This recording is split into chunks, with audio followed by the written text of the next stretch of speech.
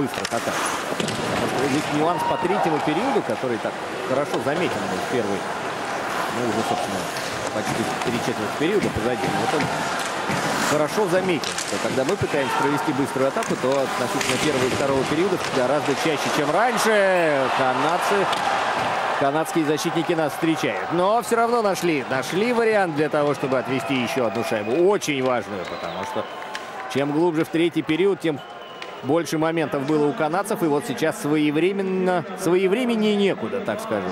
Шестая шайба в воротах Лорана Брасуа.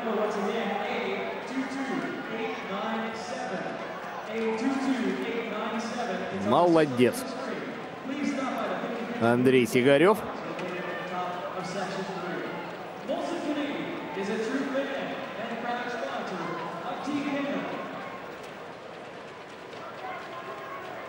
Шесть двадцать три до конца третьего периода. Эти 6.23, конечно, будут весьма и весьма непростыми, но вот теперь, по крайней мере, можно опять есть что оборонять, потому что ну, ничейный же исход.